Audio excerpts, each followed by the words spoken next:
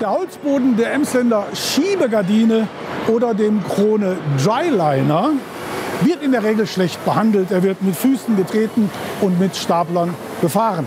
Er muss daher über starke innere Werte verfügen, sonst würde er das nicht klaglos über Jahre überstehen können. Und wie genau er zu dieser inneren Stärke kommt, tendenziell nämlich nicht durch Yoga und wie der Boden hergestellt wird, zeigen wir euch später. Geben wir uns heute mal damit zufrieden, dass der Werker für jedes Fahrzeug einen individuell konfektionierten Boden ans Band angeliefert bekommt.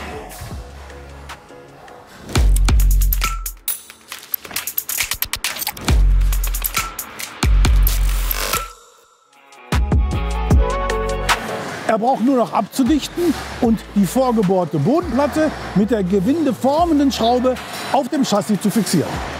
Und da Krone auch sehr gute Schweißfachingenieure hat, findet die Schraube immer das zugehörige vorgebohrte Loch im Chassis.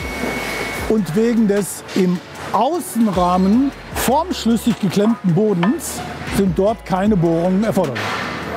Aber losgelöst davon, ob nun mit oder ohne Bohrung, beträgt die maximale Staplerachslast im Standardboden 7 Tonnen, kann aber optional auf 8 Tonnen erhöht werden. Da das aber mit dem immer gleichen Holzboden geschieht und auch mit der immer gleichen Anzahl an Querträgern im Chassis realisiert wird, muss für den 8-Tonnen-Boden der Querträger verstärkt werden. Um bei der Beladung Punktlasten zu vermeiden, muss man natürlich mit Kanthölzern arbeiten.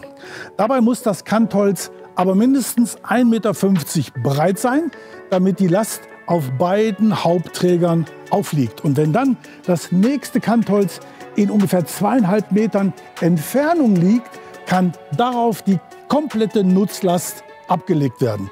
Und das ist auch der Grund dafür, dass Krone mit soliden Schweißkonstruktionen arbeitet und die eher weichen Bolzverbindungen meidet.